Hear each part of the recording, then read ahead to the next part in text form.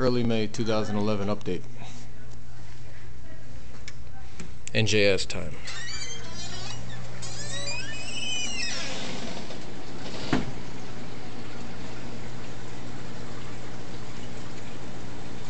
We have about 35 to 40 brook trout, and they will be released later in this month. Originally started late October, given to us by the state as eggs. From there, the kids have raised them to this point.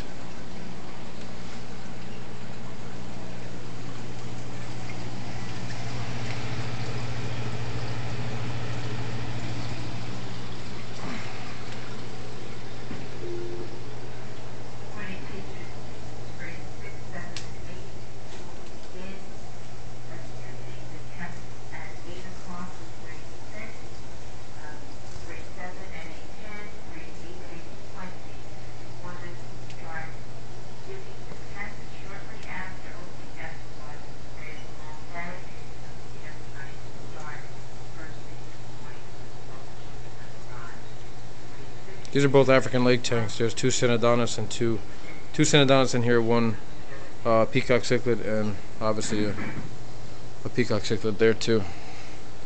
Originally they were in one 55 gallon aquarium that I had in my house at the time, but not a good idea to keep four of them together. Hey, what's up, Mr. Tenny? Um, this is the rainforest, previously Gabby's tank. She recently passed over the summer. There's actually four Dendrobates anthonyi, I'm sorry, Epipedobates anthonyi in there uh, from Sean Stewart, herpetologic.net. Great guy, great frogs.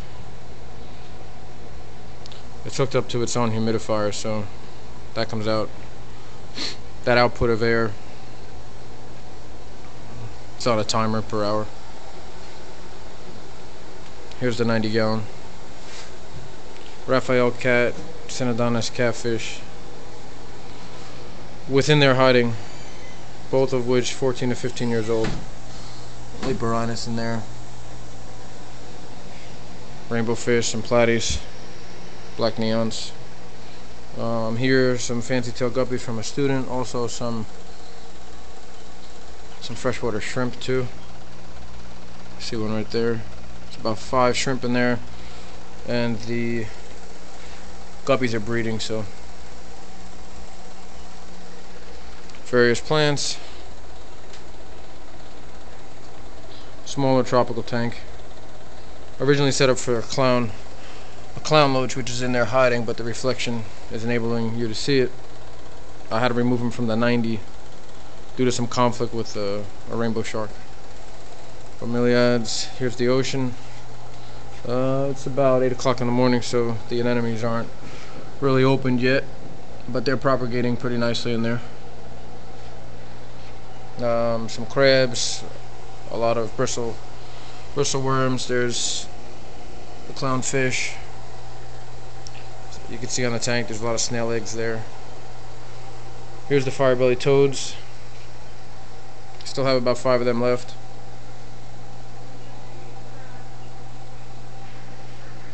Uh, here's the robotic slash current aquaculture room for fathead minnows.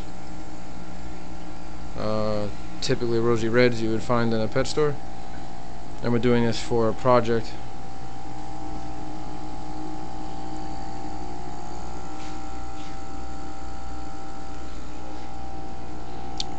Robotics room. And we'll go into the greenhouse real quick.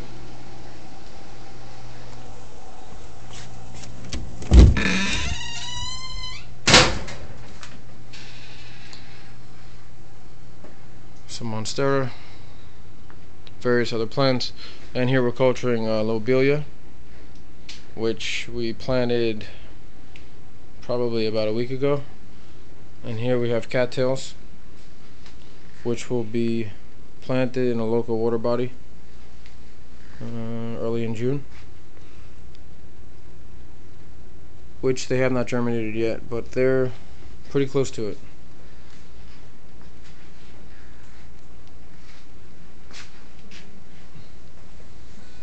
And that's it.